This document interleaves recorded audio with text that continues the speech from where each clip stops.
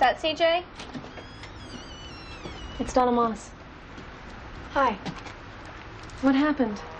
I can't turn the heat down. Did you try? No, I just looked at the thermostat and got discouraged. Really? Of course I tried. Ah, I could grow papayas in here. it's a nice office. It's the steam pipe distribution venue. It's got character. I think I'm losing weight. You want to come work upstairs in the bullpen? I need to concentrate. Nobody's here. No, I'm fine. Thank you. Okay. I just came down to say hi. And I'd talk, but I just.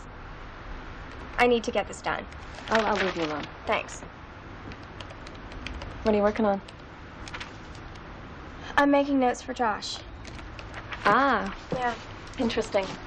Yeah. The constitutional questions involved. Yeah. Full faith and credit. Right. Do you and I look alike? I'm sorry? Do we look alike? No. That's what I thought. I, I didn't think we looked alike. Yeah. Have you ever thought about dyeing your hair red? No. You should. Why? You look good. we don't look alike. No. And I tell people that. I'm gonna go work upstairs.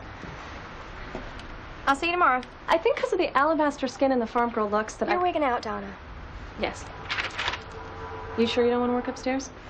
No, it may be hot down here, but at least it's quiet. Okay. Boy, I could use a Fresca. You're gonna quote the Bible to me?